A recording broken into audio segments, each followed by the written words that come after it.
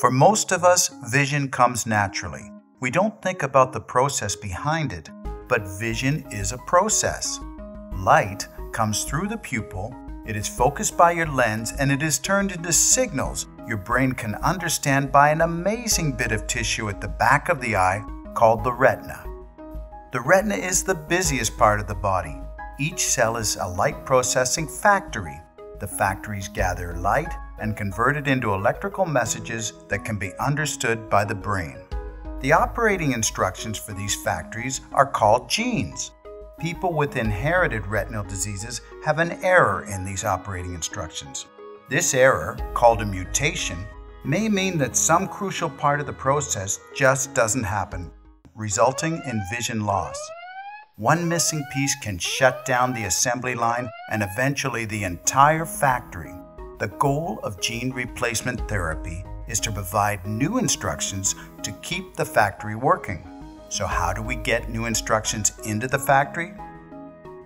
The biological world already has specialists in industrial espionage called viruses.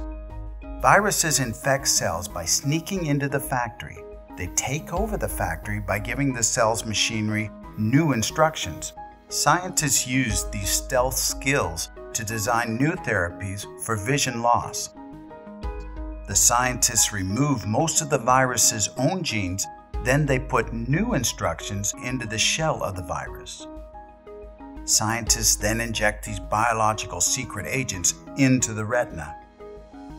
Gene therapy can be adapted to treat many different blinding mutations.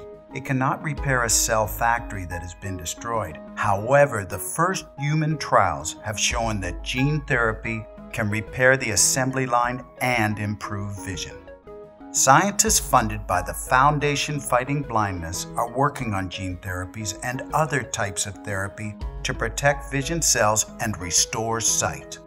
To learn more about this and other sight saving research, visit ffb.ca or call 1 800 461 3331. Your support makes sight saving discoveries possible.